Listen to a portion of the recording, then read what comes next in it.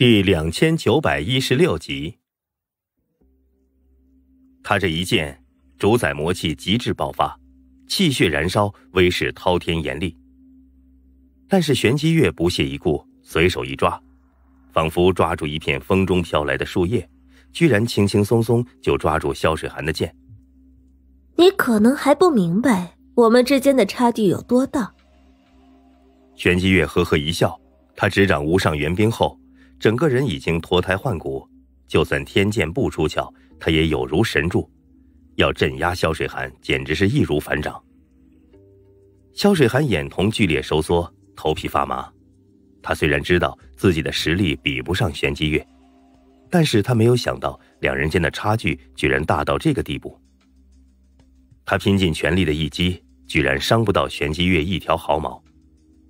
萧水寒固然成长迅速。但作为上界女皇的玄机月，享受无数机缘和超强天赋，今非昔比。哼，给我死吧！玄机月冷哼一声，手掌尽力催吐，竟震爆了萧水寒的长剑，一块块锋利的碎剑残片捏在玄机月的手中，猛地飞掷而出，如漫天梨花，直射萧水寒的头脸。萧水寒脸色大变，在玄机月的气机镇压下。居然动弹不得。女皇，给我摩天邪神一个面子。眼看萧水寒就要被杀死了，但就在这时，远方传来一阵阵刺耳的乌鸦叫声，还有一道苍老雄厚的声音。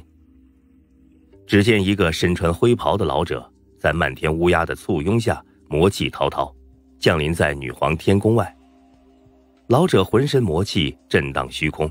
令得玄机月的气机威压也是大大减弱。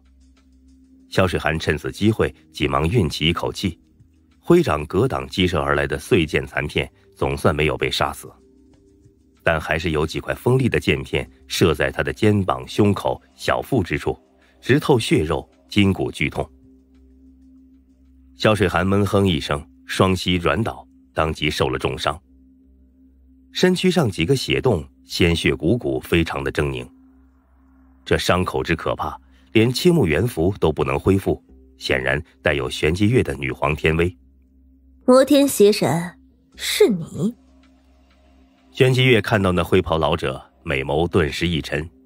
灰袍老者正是摩天邪神。看到萧水寒重伤狼狈的模样，他心里暗暗吃惊。萧水寒也算一个高手了，但是。居然连玄机月一根毫毛都伤不到，可想而知，今时今日的玄机月到底有多么强悍。见过邪神大人。女皇天宫诸多强者纷纷低头问好。在上古时代，玄机月炼化轮回星焰，途中遇到凶险，是摩天邪神出手挽救了他的性命。曾经有一段时间，摩天邪神是女皇天宫的座上宾，地位非常高。所以众人重新看到摩天邪神，态度都无比的恭敬。摩天邪神，你来做什么？我还以为你被陈苍生偷袭，已经死了呢。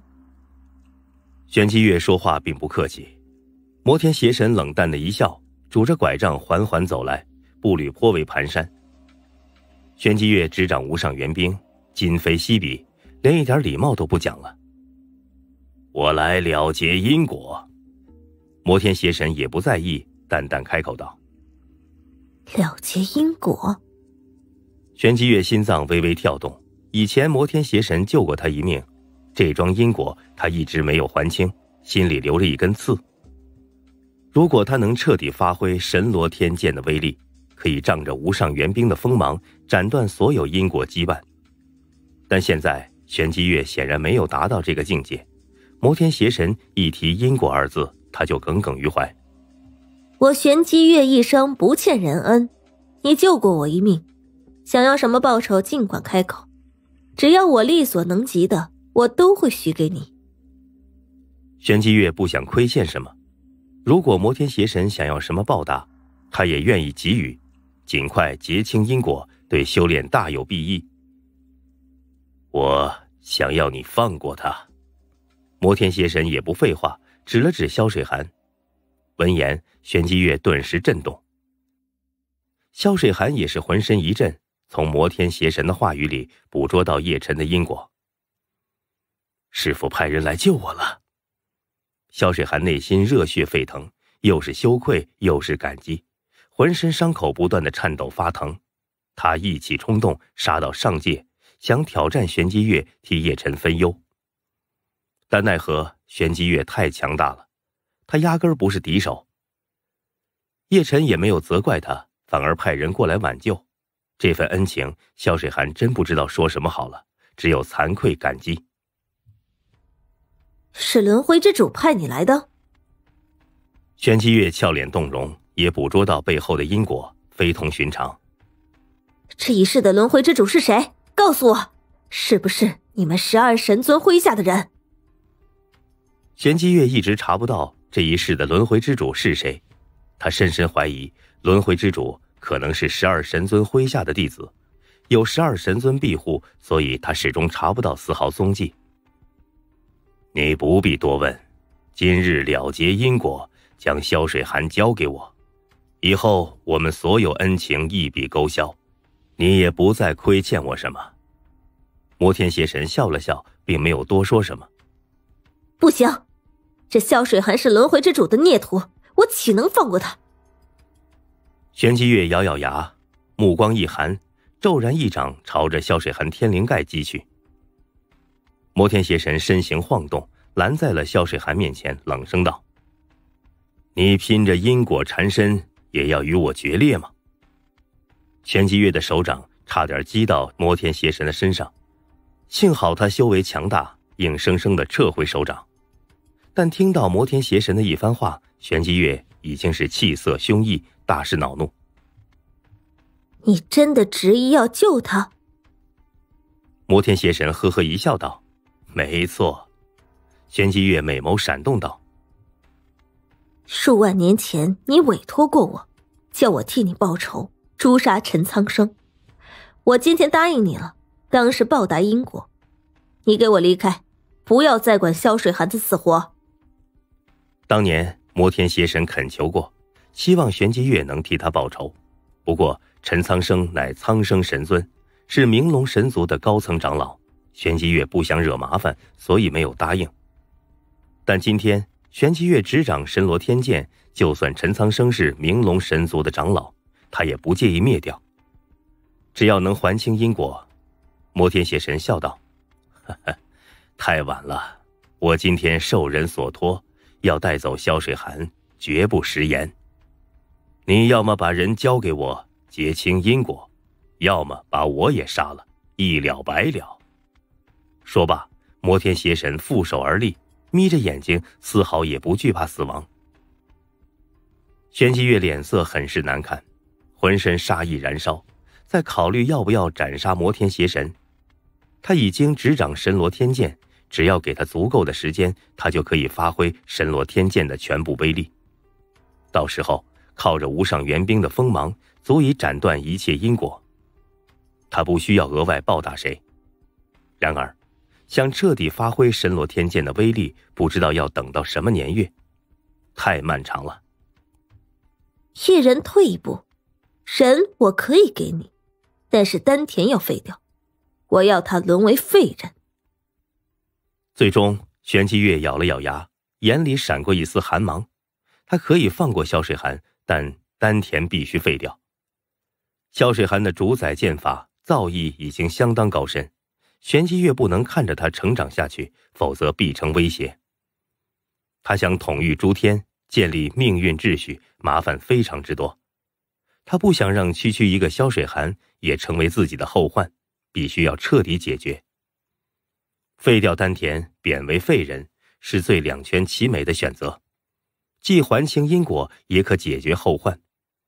摩天邪神脸色微变，显然没想到玄机月会提出这个要求。玄机月，有种你就杀了我！萧水寒听到要被废掉丹田，顿时勃然大怒。他宁愿是死，也不想变成废人。哼！摩天邪神，你看如何？玄机月手掌握在腰间的剑柄上，如果摩天邪神敢说一个不字，他马上就要拔剑出鞘，斩杀所有。摩天邪神老脸阴沉，他很清楚这已经是玄机月的底线了。如果自己拒绝，玄机月马上就要翻脸，就算拼着因果缠身，也不会有丝毫留情。到时候他和萧水寒都要死。好，我答应你了。摩天邪神重重的点了点头，废掉丹田就废掉丹田，只要保住性命，一切都有挽救的机会。不，我不能当废人。我萧水寒就算是死，也不能当废人。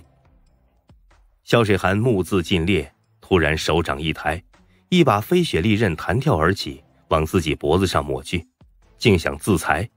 他宁愿死，也不想被废掉丹田。我让你死了没有？玄机月冷冷一笑，屈指一弹，一缕紫气射出，击飞那飞雪利刃。萧水寒浑身气机也顿时受制，竟是动弹不得。轮回心焰，给我摧毁了！玄机月也不废话，轮回星焰弹出，朝着萧水寒丹田袭杀而去。萧水寒目光惊恐震怒，眼睁睁看着轮回星焰袭杀而来，却是无法躲避。下一刹，他感到丹田传来剧痛，他的丹田彻底被摧毁了。所有内功气息瞬间溃散流逝。哦，小水寒仰天嘶吼，在巨大的痛苦下，双眼几乎都流淌出鲜血，人跪在地上，最后宛如丧家之犬，彻底晕了过去。玄机月飞起一脚，将萧水寒的身躯踢到了摩天邪神面前，道：“你们可以走了。”摩天邪神默然，全场也是鸦雀无声。无论是女皇天宫的人，还是萧水寒麾下残存的天域强者，这一刻都陷入了沉默。多谢，你我因果结清，以后两不相欠。良久，摩天邪神发出冷漠的声音，漫天乌鸦卷起萧水寒，飞离女皇天宫。残存的天域强者们想要追随而去，但玄机月一个眼神，爆发出浓烈的宿命天威。滚滚紫气从天而降，一瞬间灭杀了所有天域强者。他说肯放过萧水寒，可没说肯放过天域余孽。